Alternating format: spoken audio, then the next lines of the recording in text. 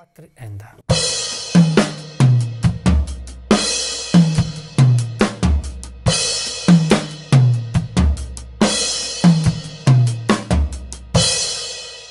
Ciao e benvenuto a questo video dove parleremo un po' di qualche applicazione del workout che abbiamo visto in diretta mercoledì scorso, il workout binario in particolare. Sono Ruggero Pazzaglia, il fondatore di The Drum Booster, strumenti per il batterista intelligente, e vorrei farti vedere alcune idee che potrebbero ispirarti per lavorare un po' con degli esercizi che apparentemente potrebbero sembrarti sterili o fini a se stesso, usarli invece sulla batteria. I workout che facciamo ci servono per tenere le mani allenate, per costruirci a memoria motoria, ma poi se non li usiamo non hanno nessun senso.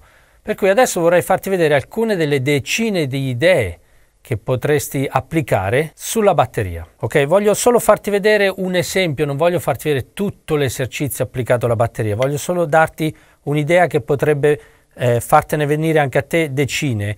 Dopodiché vorrei che registrassi in pratica un video anche con lo smartphone senza nessuna velleità eh, tecnologica e lo condividessi all'interno del gruppo Strumenti per il batterista intelligente. Prendi lo studio 1 della Unit 5, quello studio in cui tu esegui tutto il basic bin con una mano sola, ok? Accentando con la Müller. Come esempio ti faccio semplicemente i primi due gruppi, il gruppo da 2 e il gruppo da 3. Quindi il gruppo da 2 abbiamo detto che fa sui sedicesimi enda, du, i, enda, 3, ti, enda, un, i, enda, un, i, enda. Ok? Poi lo sposto, enda, un, i, enda,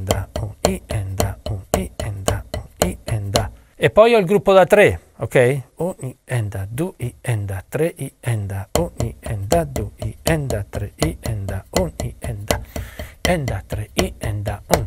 Ok? Mi fermo qui. Adesso andiamo alla batteria e ti faccio vedere qualche idea. Fondamentalmente seguiamo due percorsi quando prendiamo uno schema ritmico e lo applichiamo alla batteria. Percorso 1 è applichiamolo a un groove, percorso 2 applichiamolo a un fill. Per esempio, in quello che ti ho fatto vedere prima eh, sul pad, applicato al Charleston avrò un i enda, du i enda.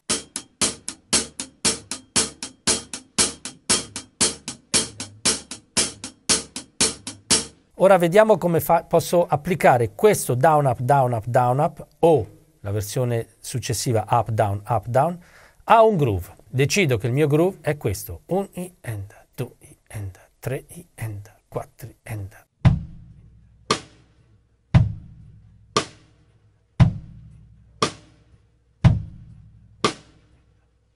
Sovrappongo l'esercizio fatto con la mano destra, col mio arto forte, sul Charleston e diventa così 3 i enda, 4 enda.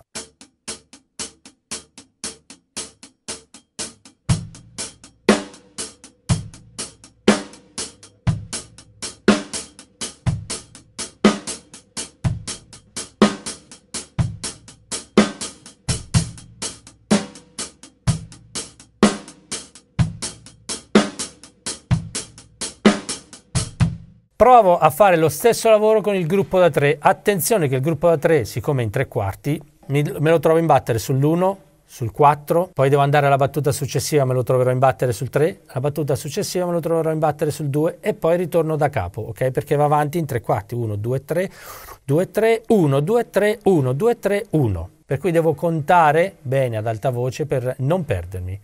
Quindi sarebbe così, 3 i enda, 4 enda,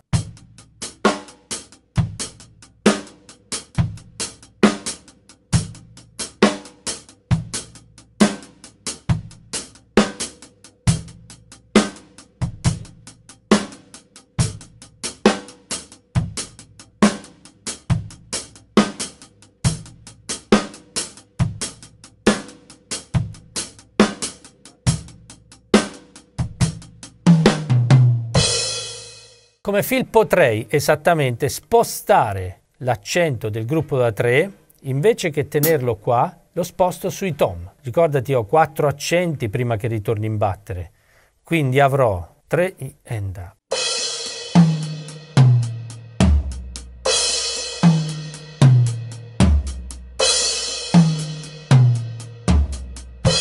aggiungo il groove. 3 i enda, 4 enda.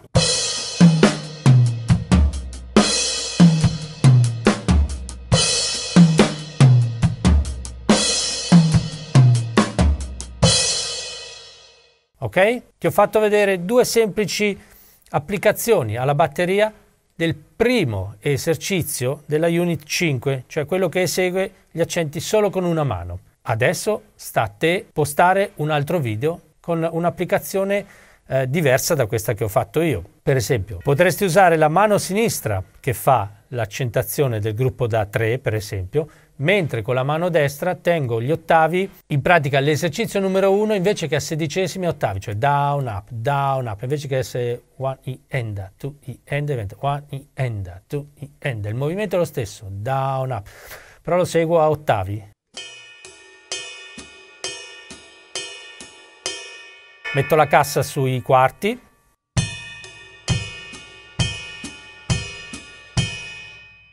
Il Charleston in levare e poi con la mano sinistra eseguo il gruppo da tre. È un'idea così, la butto lì adesso.